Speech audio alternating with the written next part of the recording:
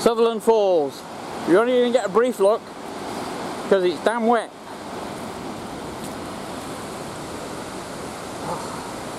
It's 500 metres tall. It's the tallest in New Zealand.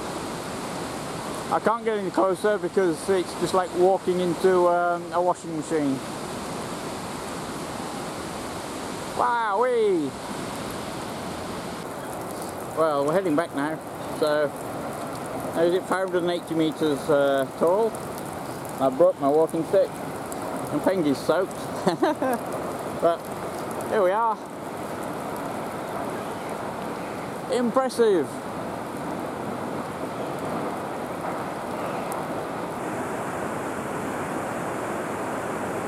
Look at all the little waterfalls around if you can see them through the fog.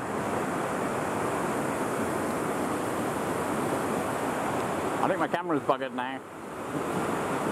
Never mind, buy a new one.